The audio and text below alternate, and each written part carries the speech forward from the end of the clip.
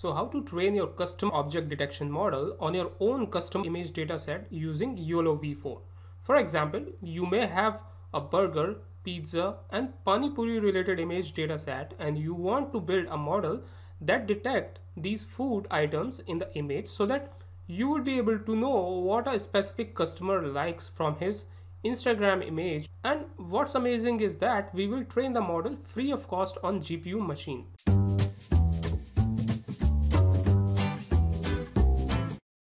Folks, Nitin here and this is the AI University channel. In this video, we will see the detailed steps to train the object detection model on the coffee and tea dataset that we downloaded earlier from OpenImage dataset tool.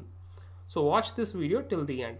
This video might be little long, but believe me, if you watch this video till the end, you will learn very new concepts and tricks that will help you for a long time in your machine learning journey. If you are new here, then consider subscribing to this channel.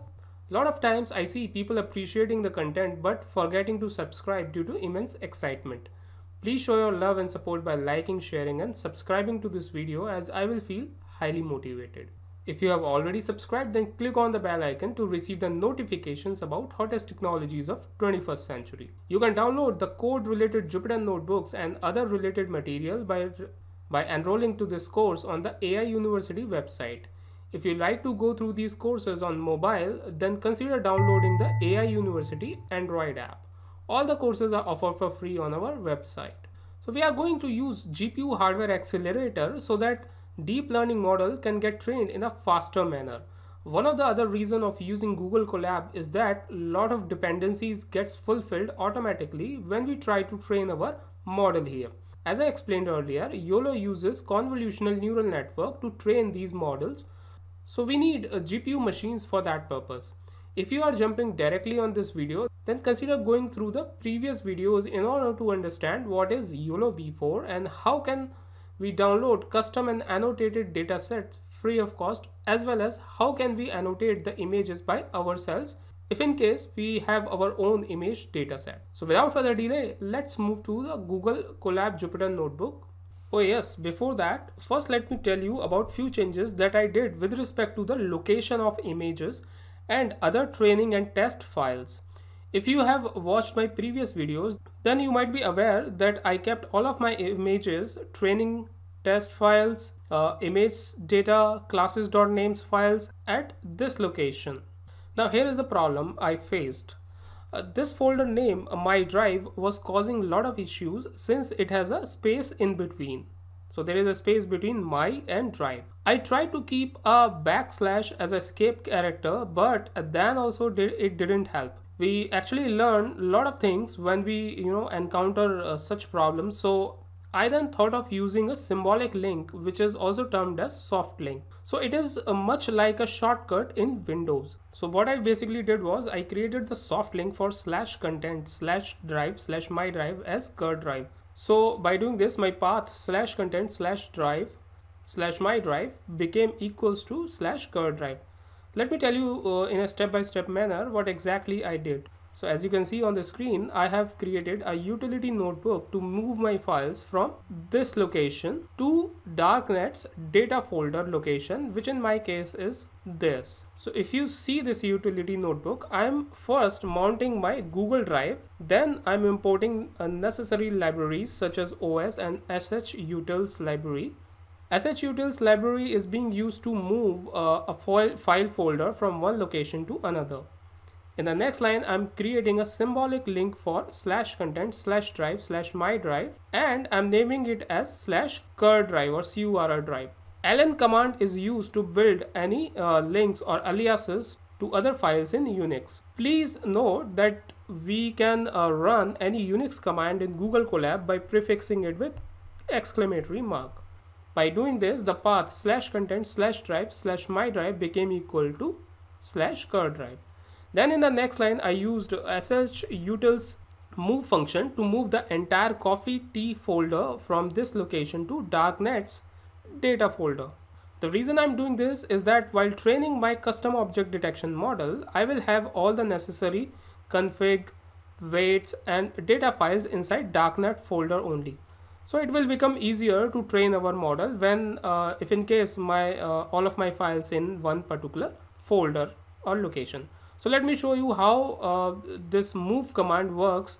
So you could see that I have this uh, folder named coffee tea inside the train folder. So you can see the path here, right? Now, as soon as I run this command, this folder from train subfolder will move to darknets data folder. So let me run this command on utility and now let me refresh my Google Drive location. So you could see that when I ran uh, that cell, the coffee tea folder was moved to uh, darknets data folder. Let me show you the darknets data folder as well. So you could see that coffee tea folder is moved to darknets data folder now. Next, I made some changes in the already created notebook, which was uh, create necessary files for training notebook. And I covered this notebook in the previous video, so you can check that out. Uh, so I used it to create the training, test and class dot names as well as image data dot data files inside the coffee tea folder, which will be used to train our uh, object detection model. You could see uh, those previous videos if you want to get the understanding of the code associated with this Jupyter notebook file.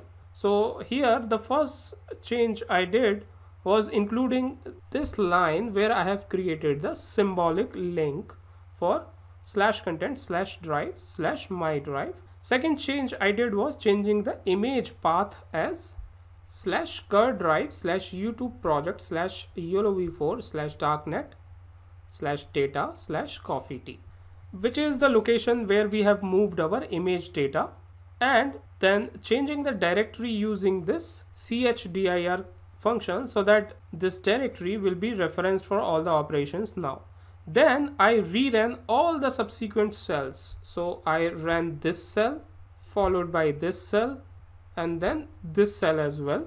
Uh, so here we are creating the train.txt and test.txt files right? So after that I re reran this cell where we are creating the classes.names file. And then I reran this cell again where we are creating the image data dot data file so again you can uh, watch the previous videos to see the content of these each individual files what exactly these are. So this image data dot data is nothing but it contains the qualified path for train.txt uh, test.txt classes.names as well as the backup folder. But you, if you want to get more details then you can watch the previous videos. This backup folder uh, uh, houses the weight information when we train our model so finally now let's see how to uh, train custom object detection model on our coffee and tea dataset so here also at the top i uh, first created the symbolic link right? And you can see the command here right? So this particular code down below is associated with performing object detection on YOLO v4 pre-trained model that I already covered on previous videos. So let me jump straight to the code associated with custom object detection model.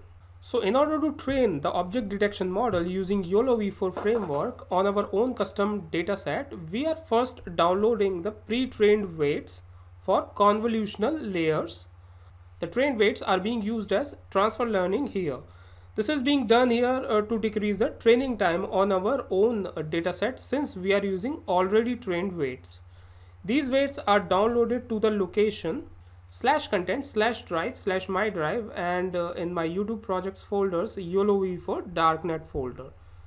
So let me show you. So you can see that YOLO v4.conv.137 pre-trained weights files in the darknet folder.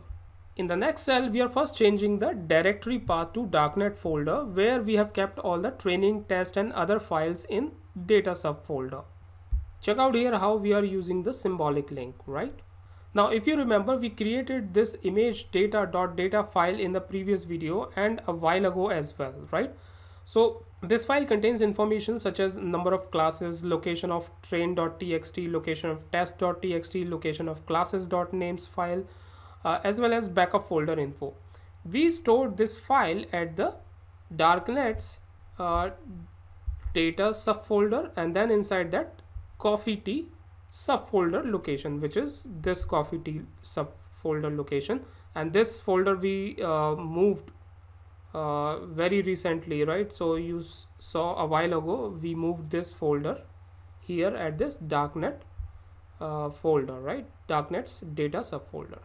So you could see this image data dot data file here so next we are giving the execute permission to darknet folder because when you are going to execute the command to train the custom object detection model then chances are that you may get permission denied error on this darknet folder.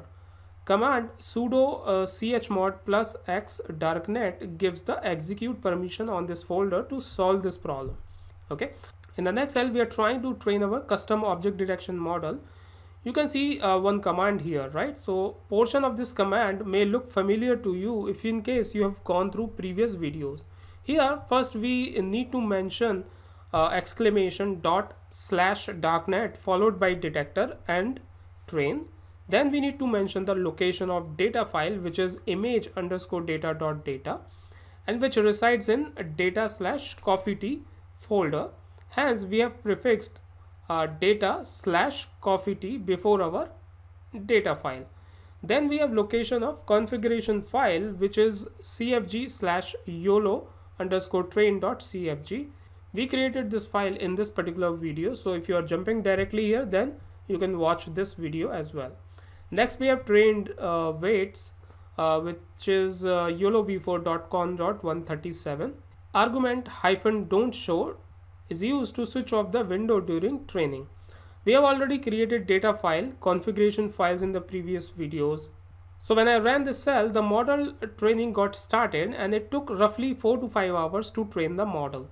This model training got stopped abruptly after 2 hours. Hence, I used a command mentioned in the next cell in order to start the training from the point it got stopped after 2 hours. I will explain that command in a while but let me tell you one thing here. If you remember we created uh, image file where we mentioned folder path to save trained model weights. The name we uh, gave to that folder was backup. So this is the folder which got created inside this darknet folder and with the name backup and this is the folder where all the interim uh, trained weights get stored so when I ran the training process, these are the weights that got created. So if you see, we have interim model weights created after each thousand iterations.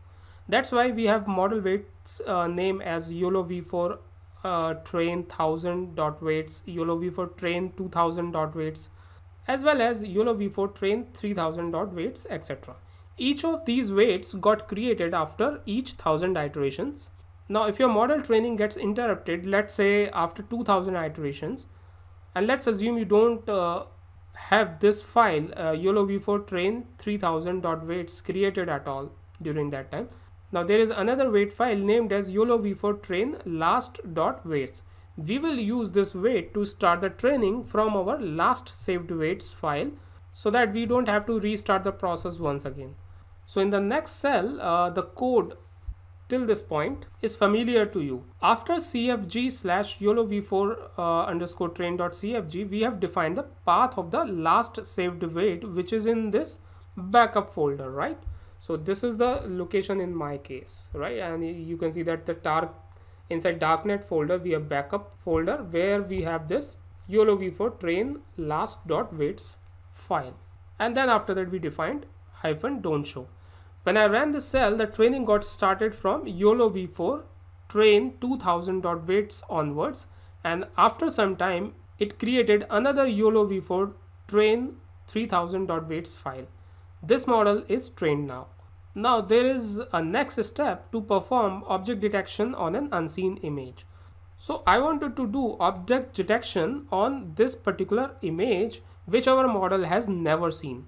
It has an image of tea right? As you can see there is a tea bag inside the cup and this is a image of tea or cup of a tea so let's see if our image performed the right object detection or not. So uh, as you can see here on in the next cell i am uh, executing the command to perform object detection on an unseen image. First i'm defining few important libraries.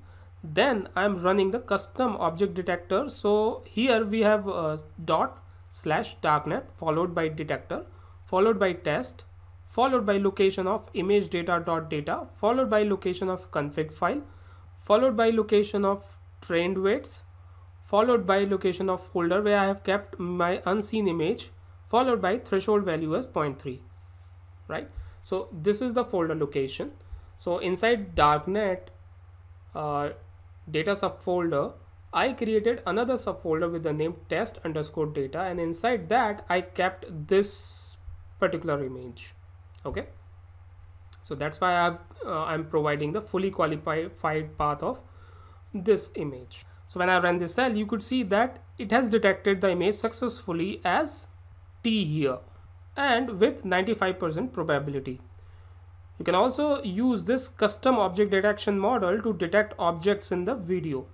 You can watch this video to see command to perform object detection on videos. Just replace the pre-trained weights with the weights of our custom object detection model. So folks, this is it for this video. In the next upcoming videos, I will come up with uh, new projects related to machine learning or deep learning. So here is today's question. Did you like this series and wants to see such informative series in future. Please post your answers, comments in the comment section given below so that I can get a chance to incorporate your feedback. You can also post your technical questions in the comment section and I will try to answer the same. If you're watching this video and you are not already a subscriber to our channel, consider clicking that little subscribe button. In case you have already subscribed, then click on the bell icon to receive the notifications whenever I will release a new video. So thanks for hanging out with me guys. I will be covering next topic in the upcoming video. So keep on watching. Thank you.